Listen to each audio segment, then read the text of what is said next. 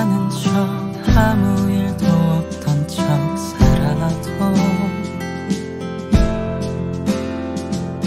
하루에도 몇 번씩 누군가를 지우려 해봐도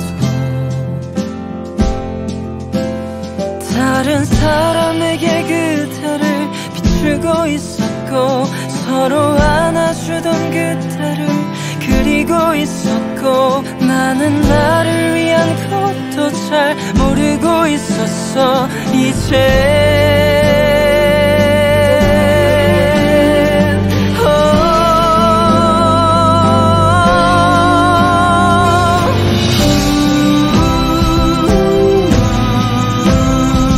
안녕하세요 여러분. 저는 유승우입니다. 제가 여기 온 이유는요 자켓 촬영을 하려고 왔어요. 되게 이뻐요 보시면 전구도 많고. 되게 재밌는 촬영을 하고 있고요. 이번 앨범이 좀 정적이고 유승우 좀 컸네? 약간 이런 느낌을 보여드릴 수 있을 것 같아서 되게 행복합니다